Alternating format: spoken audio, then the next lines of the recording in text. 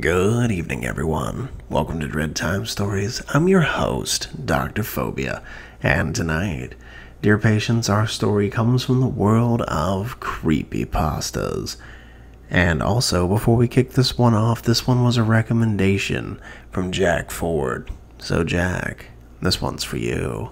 Sit back, relax, and enjoy tonight's tale How Tommy Really Died.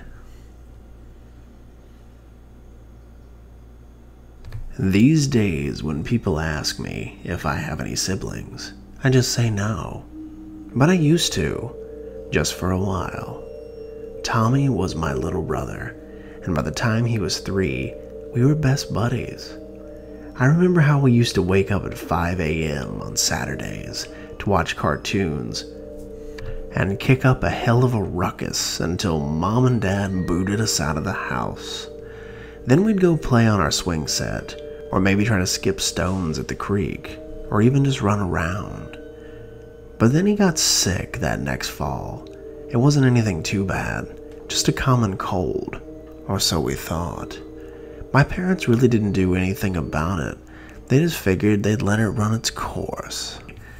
Poor kid probably went through a pack and a half of Kleenex a day, but that didn't help any. He was sneezing every other minute, spewing his snot all over the place. And I wouldn't have spent much time around him if my parents didn't make me. That's how we ended up in the garage that day. We went out to run around, but because it was cold, Tommy got tired after just a few minutes. We were headed back inside when he sneezed on me. I called it the straw that broke the camel's back.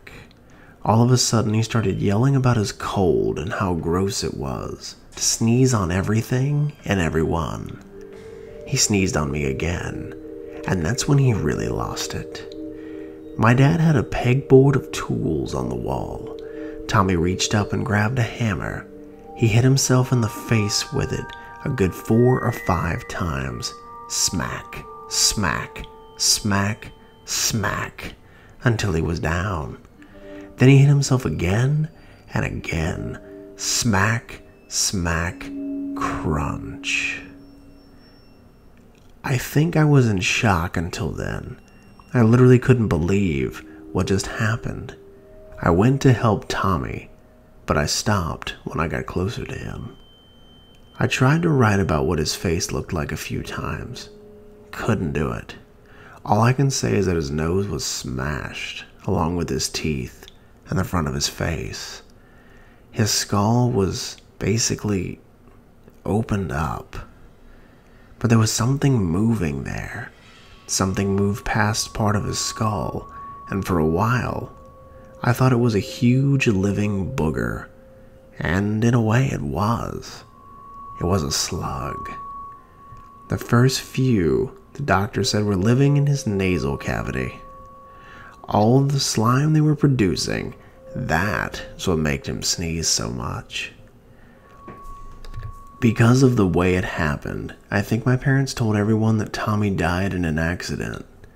I'm not really sure, and they're not really around for me to ask them what they said. My friends from school didn't buy that, so when they asked me how Tommy really died, I told them the same thing I told the cops, which is the crap I just wrote. But that's not how Tommy really died. See, Tommy couldn't have reached Dad's hammer, but I could.